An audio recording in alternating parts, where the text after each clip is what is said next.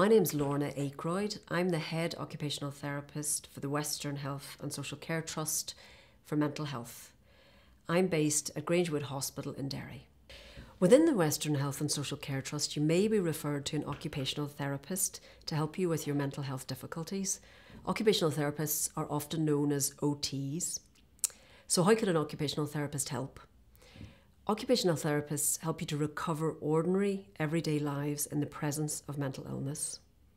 When we talk about occupation, we mean the activities or things that you may need to do as part of your everyday life.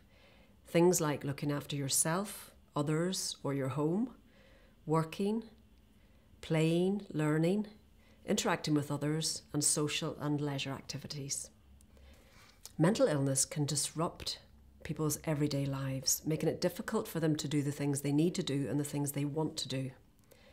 Mental illness can disrupt people's motivation, their everyday routines, their ability to concentrate, make decisions, and problem solve. Everyday interactions can become challenging, and some environments can become very daunting. Occupational therapists involve people in activities in order to assess people's abilities and to help them develop or redevelop skills in any of these areas. OTs help people to lead as satisfying and meaningful lives as possible in the presence of mental ill health. An occupational therapist may work with somebody on an individual basis or may invite them to join meaningful activity groups. Everyone's occupational therapy plan will be different. It may involve practicing kitchen skills in order to live independently. It may involve exploring community resources and organisations in order to establish a meaningful and satisfying routine in the community. It may involve developing the skills needed to return to work or training full time. It may involve participation in leisure groups, such as walking groups or trips to the local gym.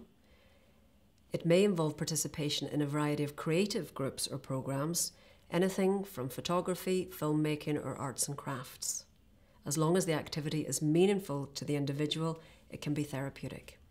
Sometimes these activities will take place in healthcare locations, but often they will take place in community locations in order to break down the barriers that may exist for someone with mental illness and to encourage them to participate in independent programs and integration with the community.